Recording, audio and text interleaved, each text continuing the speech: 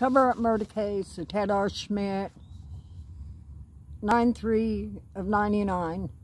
This video, and we're sitting in the park, by the way, by the river, which is nice.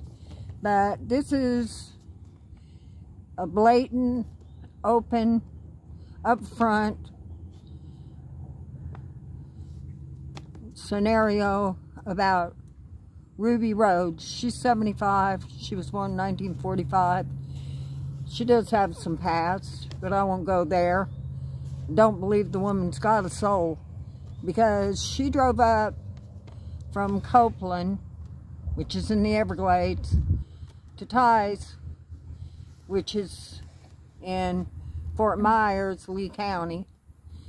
And she picks up my son knowing that Miss Rhodes. I ought to speak directly to you on this video. But at moments, I'd rather not talk to you because I've never in my life known a mother or a grandmother that would take her daughter and her three kids to see my son murdered in her house. Now that, to me, is unspeakable. It's worse than any soap opera. She's a criminal. Okay? Now, she knew exactly what she was doing when she left the house, but her daughter could sit in jail with my son taking care of her kids for several months while she was in jail, her daughter, and she wouldn't even bail her out or drive up there to even speak to the woman or care about her grandchildren. Am I right or wrong, Brandy? That is correct. And let alone send a letter while being in jail and not ask anything about her kids doing. And the only thing she cares about, oh, well, do you have this money and are you taking care of talking to my uncle?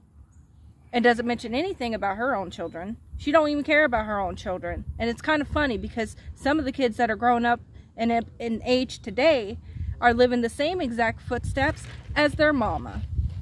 Now, they haven't had any grandchildren nope. from them for Tamala which would make a 75-year-old woman a great-grandmother. Mm -hmm. After they've seen a horrendous murder that they've had to live with for 22 years. I am a victim. There are a lot of victims out here, more than I can count. And our justice, it's not justice. And Gene Rhodes, where is your soul? If you go to church, you don't, and you don't. And I won't even repeat how I think or how I would like to really reach out and say to you, are you really going to take my son, my oldest son, life with the devil and go to sleep and never wake up? Mm -hmm. One of these mornings, the devil is going to come back for that contract. You wake up either dead in your grave or turned over in your bed. And I'll say this once and one time only.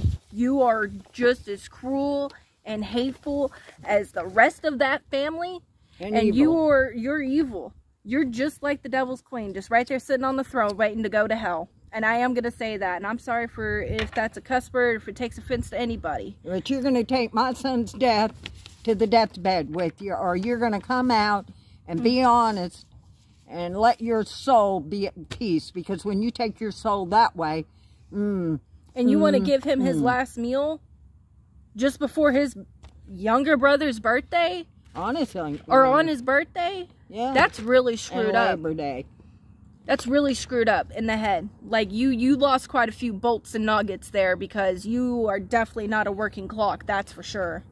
And we're going to turn the camera around so you can see the river. We're trying to be at peace. You see that river? That's the Tennessee River. God bless.